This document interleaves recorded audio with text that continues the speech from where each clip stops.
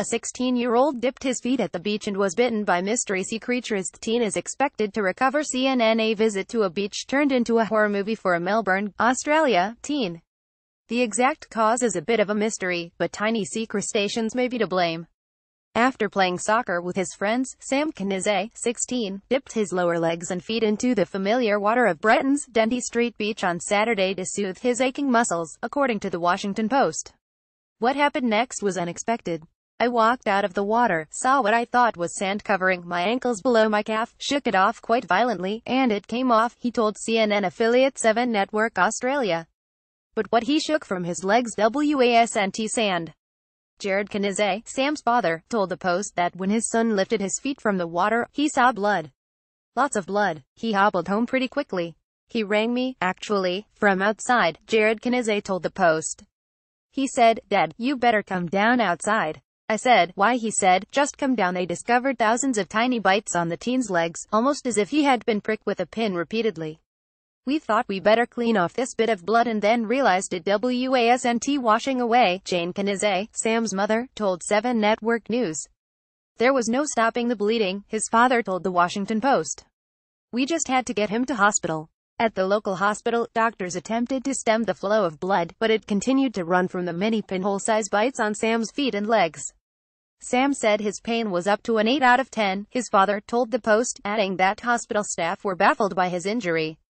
Investigating on his own, Jared Kanizay put on two wetsuits, returned to where his son had soaked his feet and used some raw meat to lure the unknown pests into a pool net. He collected thousands of the mites, each about 2 millimeters long, according to the Post. Later, he uploaded a video to YouTube of what he believes is the culprit feasting on chunks of raw meat he provided. On these bits of meat, they've sucked the blood out of that, and they remain attached to the flesh of that meat, Jared Kanizay told 7 Network Australia. The bleeding wouldn't stop because of the anticoagulant being released by the crustaceans, according to a Facebook post by Museums Victoria. The organization's marine biologist Jennifer Walker-Smith examined samples captured by Kanizay and conclude that the likely culprits were lysianassid amphipods, a type of scavenging crustacean. Amphipods are sometimes referred to as sea fleas, according to the Post. Media reports have described the attackers as sea lice but that term is usually used to refer to isopods, a different group of crustaceans. Amphipods are naturally occurring scavengers known to bite. However, they do not usually cause these kind of injuries, the Post said. It's also possible they contained an anticoagulant, which would account for the inability to stop the flowing blood and that the very cold water may be the reason Sam didn't feel the bites. Because they have no venomous properties, the damage will not be lasting Sam will recover, according to the Post.